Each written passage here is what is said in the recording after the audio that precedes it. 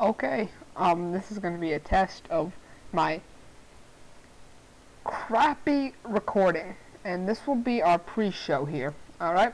Now, pre-show, I will show you an amazing picture. Alright, here we go. This picture will be a picture of schist. Schist is a rock. I believe it is a metamorphic rock, but do not hold me to that. Alright. And we're gonna start the video right now. Yeah, Fallout 3, mother trucker. I don't even know. I am.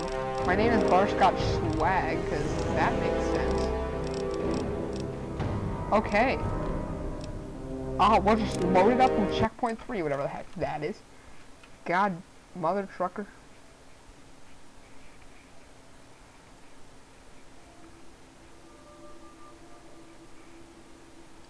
I don't know what to say while it's loading, except it's loading. I don't even know what mods I have put on here. Um, maybe if I actually decide to do something with Fallout 3, I will put mod, I'll put a mod description, because there's like 30 mods in here that makes everything... All you need is a little patience. Crappy. A little faith. Let's see. Until we meet again. Let's see what weapons I got. President Lever action rifle. One of my SPAS 12, don't know what mod that's from. Flippin' A. Backpack. Okay. Let's do this. SPAS 12, which is actually a really bad mod.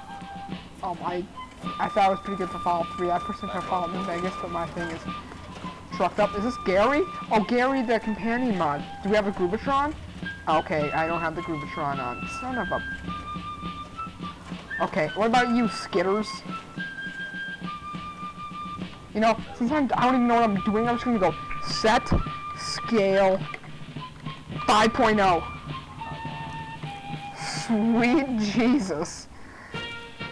Oh god, get away! Oh, oh, lag, lag again, lag, shoot gun. There we go. Holy basket lag. Oh, game crash. Okay, um, according to this, my game has crashed. Um, I, I'm not sure. No, no, we're still here? Okay. I just exited the thing and I thought, crap. I crash a lot in this game because there's so many mods and I have a terrible frame rate. What the heck is this thing? The textures aren't loading for it. Kill it! Oh, it's alive! Kill it! I'm going to my screen right now, showing you the health bar. Oh. Dead.